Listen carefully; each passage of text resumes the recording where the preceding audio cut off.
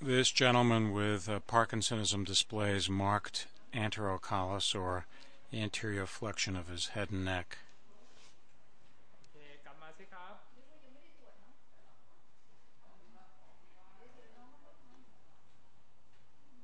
Gait is mildly slow with short stride length. Mouth is held partially open with marked facial masking.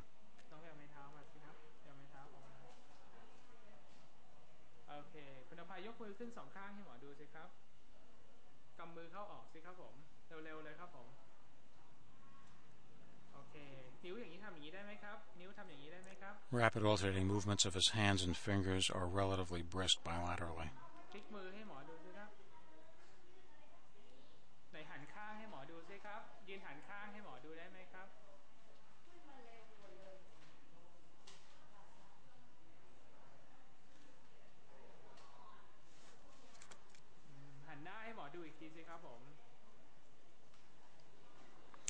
He exhibits a very typical rhythmic resting tremor of his right hand held at his side.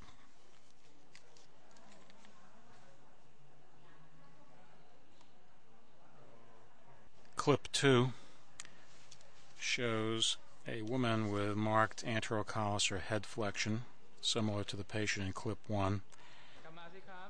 There's also some anterior shift of her head forward.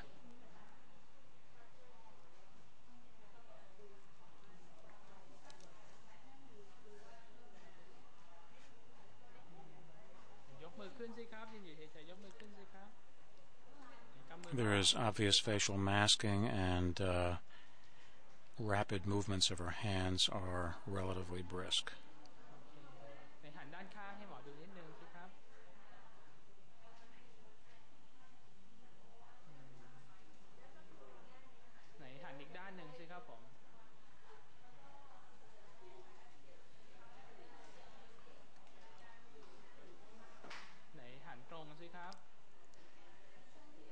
Similar to most patients with anterocollis with Parkinsonism, she's able to straighten her head in a supine position.